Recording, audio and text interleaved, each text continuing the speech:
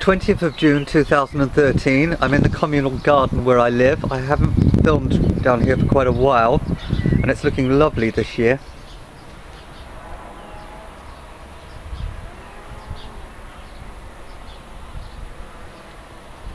I often enjoy sitting out here with neighbours. We often have a good giggle.